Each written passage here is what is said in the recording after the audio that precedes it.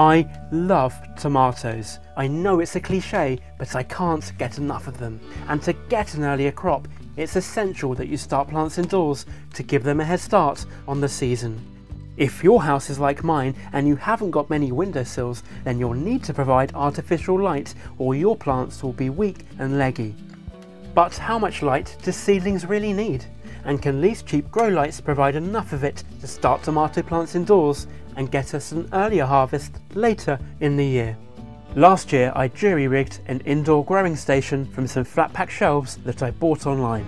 I screwed the two frames together, bought far too many lights, and I placed it by the kitchen window and simply hoped for the best. And it sort of worked. By throwing as much light as I could at the plants, I managed to stop them from going leggy. But just how much of this was a waste of money? Did I really need to buy all these lights? And how much light do young plants really need? I'm going to run an experiment. I'm going to sow a bunch of tomato seeds and use my growing station to try and find out how much light they really need. By varying the light intensity on each of the shelves, I'm going to try and find the cutoff point from healthy plant to leggy seedling. The first thing to do is to sow some seeds. I'm going to be growing six different types of tomato. I've got cherry tomatoes, plum tomatoes, beefsteak tomatoes and ordinary salad tomatoes too. There must be about 20 pounds worth of seeds here. To get them to germinate faster, I'm going to pour each of them their own cup of tea. Don't worry, I will give them time to cool down. By soaking the seeds in tea, we make the seed coat absorb water, swell and even ferment a little. All of this helps the seed embryo break out faster, but soaking for too long can be harmful for the seed, so I'll just leave them overnight.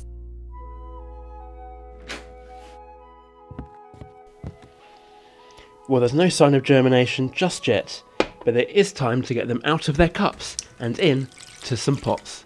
To fill up my pots, I'm going to be using my signature blend of seed compost, coconut coir and perlite. When making my mix, I normally just eyeball it, but this time I'm going to weigh everything so that the mixture is consistent between batches. Then I'm going to fill my pots with the mix and sow the tomato seeds near the surface. I'll cover them with more coir, water them from the bottom by adding water to the trays, and take them upstairs to the growing station to germinate. While the seeds are germinating, it's time to set up the lighting so we can find out if these lights are powerful enough to grow tomato seedlings. My growing station has 8 shelves and 2 sets of 4 LED strip lights, which gives us lots of lighting conditions to play around with. For this experiment, we're going to look at how the intensity of light as it reaches the plant's leaves affects the rate of plant growth. Documentation for these lights is very scant, but if you look at the online sales page, it claims that the LED strips emit a total of 2700 lumen, which is a measure of the rate of energy emitted by the lights, and that's in all directions too, which includes the wasted light that goes out into the rest of the room. This information is really useful for comparing light bulbs, but much less so when the light is directional. And it doesn't account for distance either, because as you get further away, the light spreads out and the amount of light in a given area or the intensity of the light goes down.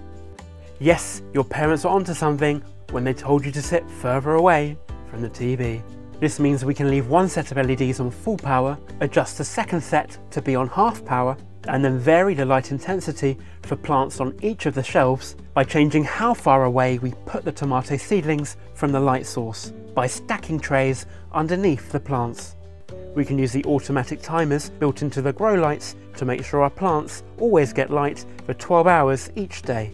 We can cover up this window for the duration of the experiment so that no daylight gets in. That would be cheating, of course, we'll also record the light intensity using an app measuring the daily light integral or DLI at the soil surface. And at the end of the experiment, we can measure how leggy the tomato seedlings are, find out how much light they need to stay healthy, and see if these grow lights can provide enough light to grow tomato plants. And with all that out the way, let the experiment begin. Tomato seeds can take a while to germinate. In optimal conditions, they should germinate within one or two weeks, but sometimes as fast as two or three days if you soak the seeds and provide enough heat. No, of course I didn't forget to take the bins out. Okay, so I've not seen any sign of germination, but I do have a couple of tricks up my sleeve. It would be really embarrassing if none of the seeds germinated, so I'm going to add this lid over the top to try and trap some humidity and help the soil surface stay moist. Try saying that one drunk. It also occurred to me that my house is a little bit on the cold side. Right now it's somewhere around 8 degrees C, which isn't enough for tomatoes. They prefer something closer to the mid 20s, so reluctantly I'm going to have to turn up the thermostat. But it definitely doesn't help when you've got a window with wind coming from behind the frame. A more energy efficient option would have been to buy these heat mats which directly warm the trays rather than your entire house.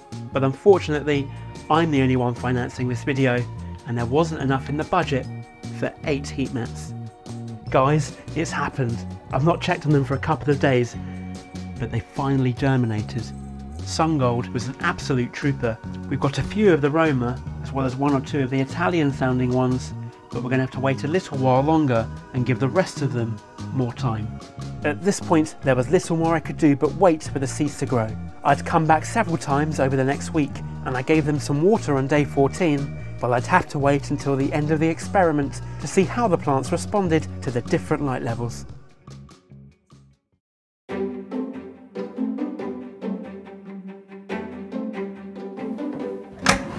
It's been three weeks since I sowed the tomato seeds and honestly, I need this room back. So tomatoes, your time is up.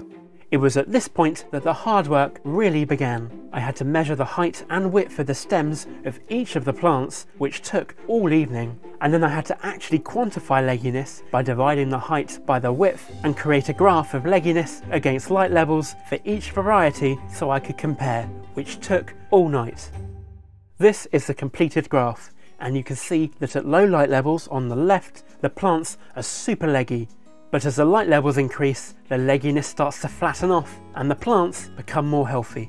The healthy region, where plants have enough light, begins at a DLI of about 5 to 6, which, for these grow lights, means your tomato plants need to be within 10 centimetres of the LEDs.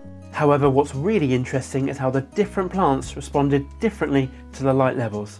However, this graph on its own is a little bit boring and you can see the results for yourself if we go and put the plants side by side. The Sungold tomatoes are reasonably strong, even at low light levels, while other varieties fared less well.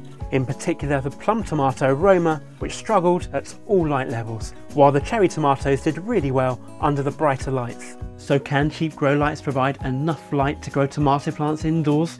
Well, if you're using lights like these ones, and you can make sure that your plants are never more than 10 centimeters away from the lights or that the light intensity is more than 5 moles per meter squared per day, and you pick varieties like Sungold, Red Cherry or Black Cherry, which do better under artificial light, then the data says yes, you can grow tomatoes indoors under cheap grow lights.